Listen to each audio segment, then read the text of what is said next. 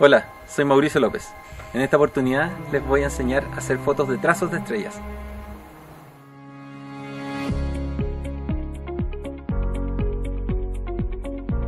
¿Qué se necesita para este tipo de fotografía? Simplemente un trípode, un disparador y la cámara con su lente. De preferencia el lente gran angular o fitch.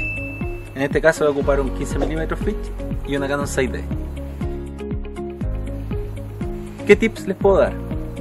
Primero, yo configuro para mis fotografías ISO 3200. A veces lo hago en ISO 6400 o 1600.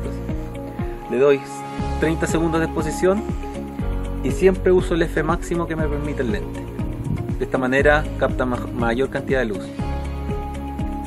Otro tips que les puedo dar es configurar la cámara en modo ráfaga. De esa manera, yo al bloquear el disparador, la cámara cuando termine de hacer una fotografía inmediatamente va a hacer otra. Sin tener que nosotros estar al lado de la cámara para estar disparando una foto después de otra.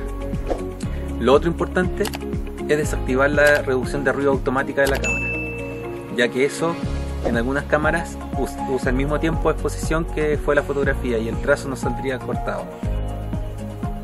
Y como dato adicional les puedo dar que este tipo de fotografía también nos sirve para los timelapse nocturnos. ¿Qué nos queda ahora? Solamente disparar y esperar que llegue la noche. Para después pasar un software donde vamos a editar la fotografía y hacer el trazo.